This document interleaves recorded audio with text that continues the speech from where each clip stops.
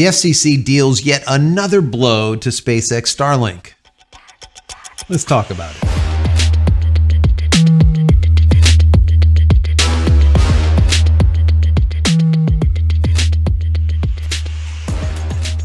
Hey, everybody.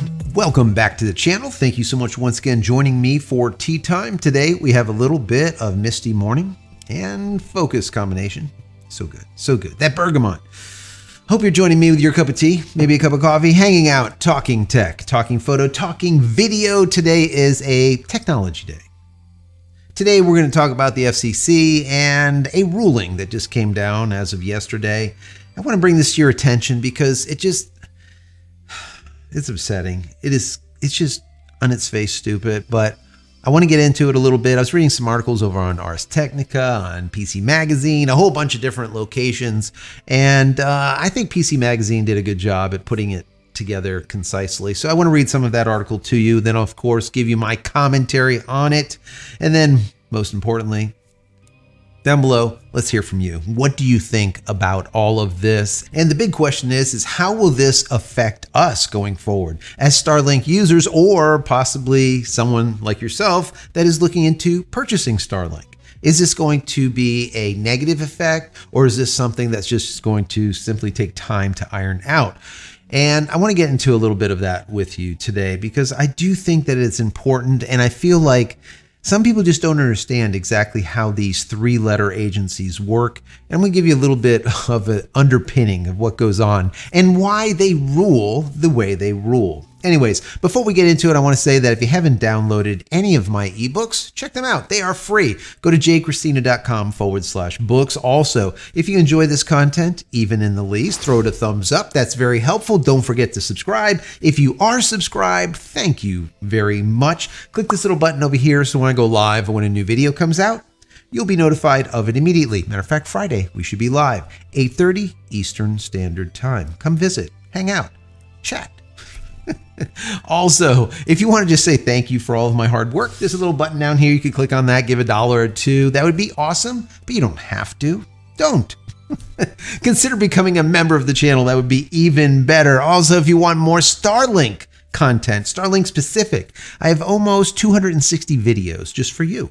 Click this little button over here. Just simply check out my Starlink playlist. Also, if you're looking for a VPN, check out the guys over there at Pure VPN. They are awesome. They gave us a promo code, which is JCristina. You'll get 15 additional percent off at checkout. If you can't remember JCristina, that's all right. Go to jcristina.com forward slash VPN. Once again, jcristina.com forward slash VPN, and it will automatically or automatically give you that additional 15%. Anyways, let's get right into this article and just have a general discussion on this, right? Very relaxed today. I'm not going to speed through this, so if you want to fast forward, you can. I know some people they start getting like anxiety, you know, when things aren't given to them like in 15 seconds, like if they're watching a TikTok or something. This is a vlog, all right? Not a newscast. I'm not with CNN or something, right? So we're just hanging out, discussing. Anyways, the article starts out by saying SpaceX needs regulatory approval to use radio spectrum in the 1.6 gigahertz and 2.0 gigahertz band for its up and coming cellular Starlink system, but the company must first overcome a new bureaucratic hurdle, once again, courtesy of the FCC or the Federal Communications Commission. On Tuesday, the FCC rejected SpaceX's original application to use the radio spectrum on a technicality. What else is new?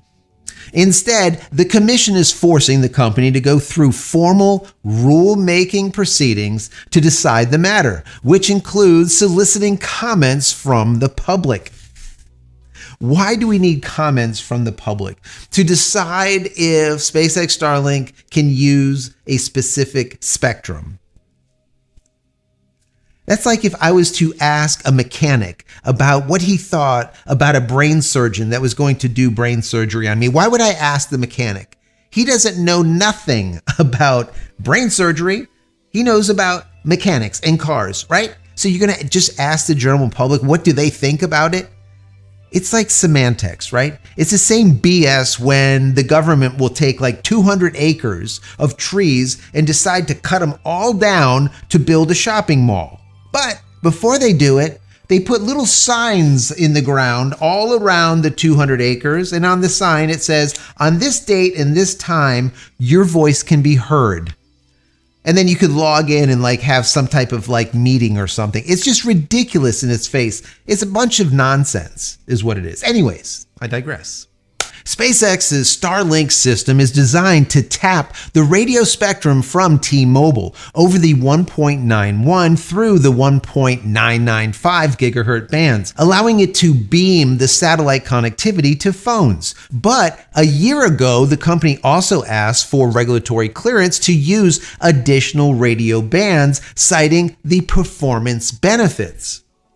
Okay? If approved, the radio bands would supply increased capacity, reduced latency, and broader service coverage for mobile users across the United States and the world, including those users underserved or unserved by existing networks. This is what SpaceX said at the time when they petitioned for this additional frequency, this additional band.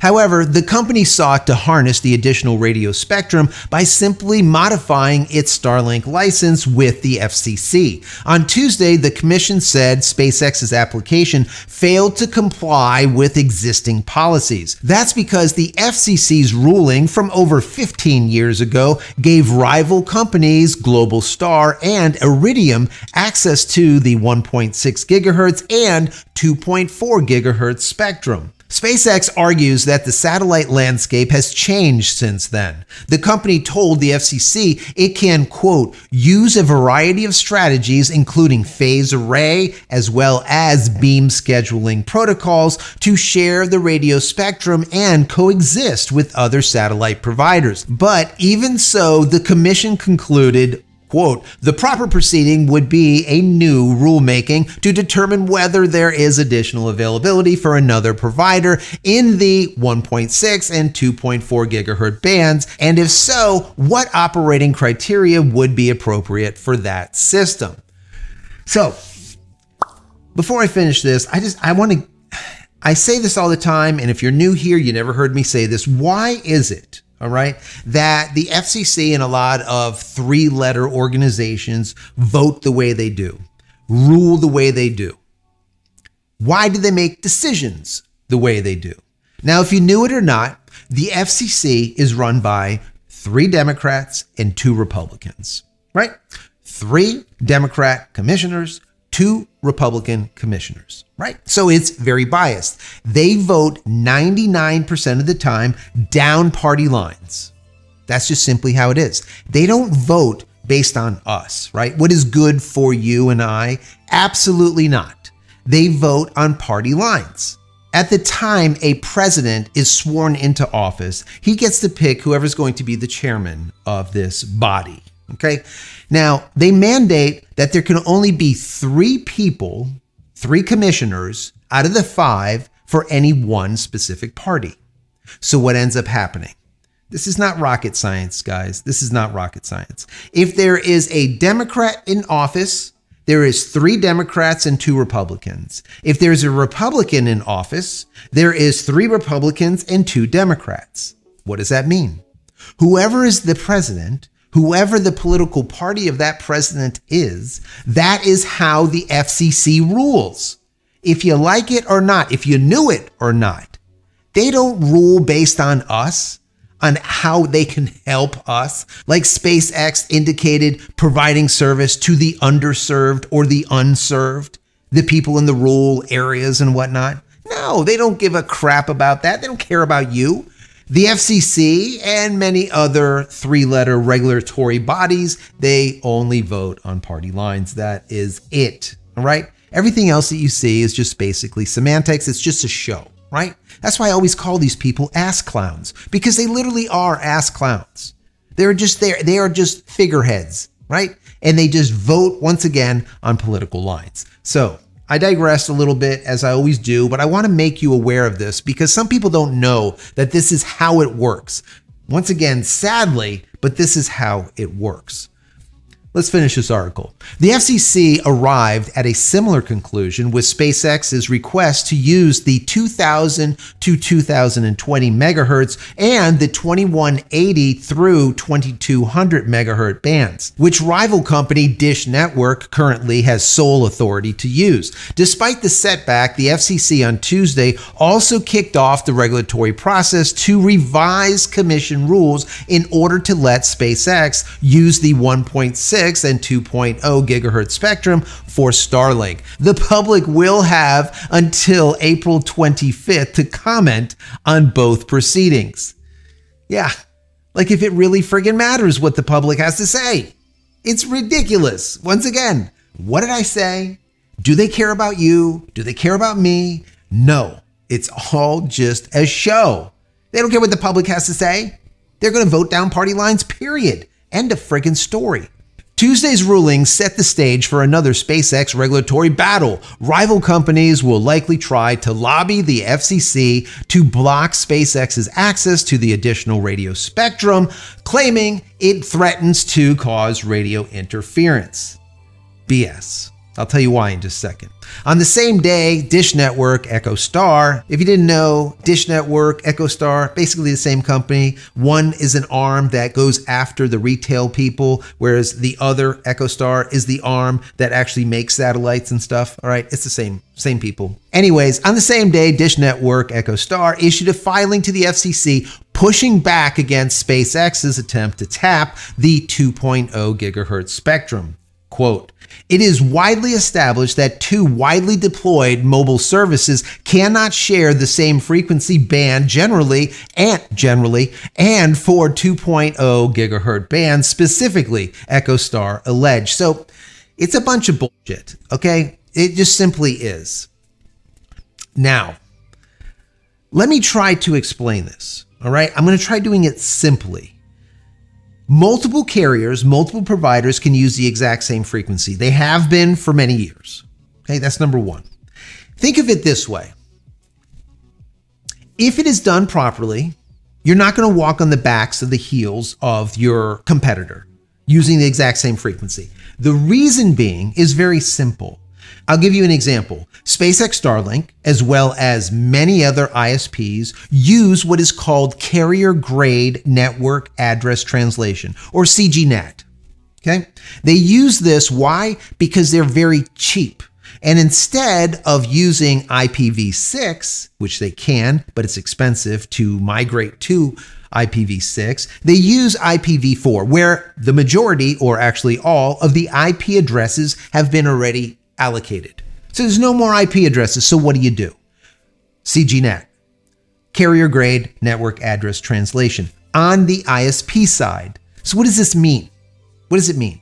So if your IP address is 1.1.1.1 and my IP address is 1.1.1.1 and we're on the internet, how does it know where to send the data? I'm glad you asked. It's very simple. So even though we have the exact same IP address, every single packet that is sent out has a small bit at the end. Just think of like one character. It's actually more than that, but a small amount of data at the end of every single packet. And that data tells the ISP, for example, Starlink, where to send the data. Who is the one that initiated the request and where does it go to come back? Very, very simple. So even though we have the exact same IP address, think of it this way. We live at 100 East Main Street, but it is an apartment building with 500 apartments in it. All of us have the exact same address, right? But it, the mail system doesn't have a problem getting mail to us. Why? Because there's a floor number and an apartment number attached to that mail. So everything is going to the same address right? 1.1.1.1. But that little bit of data at the end tells the mail person where to put that package. Very simple. And the same thing holds true here. Even though you're going to use the exact same frequency, all of the data sent through this network is going to also have that bit at the end that will tell it whose data is it? Where does it need to go? Is it Starlink data? Is it EchoStar? Is it Iridium? Whose data is it? Number one, right? And then they can also add to that by taking turns. on who sends the data. It's not a big deal. Once again, this kind of stuff has been going on forever in networking, as well as in sending or transmitting through the same band or spectrum. So, what they talk about here is just complete nonsense. What they're trying to do is stall, stall, stall. Why is that? Because these companies like HughesNet, Viasat, EchoStar, Dish, Iridium, all these companies are going out of business. Make believe they're not even there because they're not. If you have stock in them, sell it. Sell it like today. They are out of business. They are gone. So they're fighting to try to stay alive. Remember, Dish Network forever has been raping people using the same geostationary satellites for ages, right? Well, as they saw SpaceX Starlink came on board with their service. They said, you know what? Holy hell, we need to do something. So what they did is they told the FCC is we're going to start using towers, kind of like T-Mobile does and AT&T does, as well as Verizon, Verizon Home, T-Mobile Home, right? Using the cell towers, using 5G to send data as an internet connection. Same thing. Dish Network says, oh, we're going to use that spectrum that we haven't used for the last 15 years. We're going to start using it now because they know that those satellites that they have up there are completely useless. If anything, the government might use them, right? Just as a backup, but that's for another video. The bottom line is now they're saying, well, we're going to create our own internet type of service where we're going to now facilitate or provide TV but instead of over that satellite, we're going to do it through a wireless tower, a cell tower. They are grasping for air and they're drowning. So, this is what they do.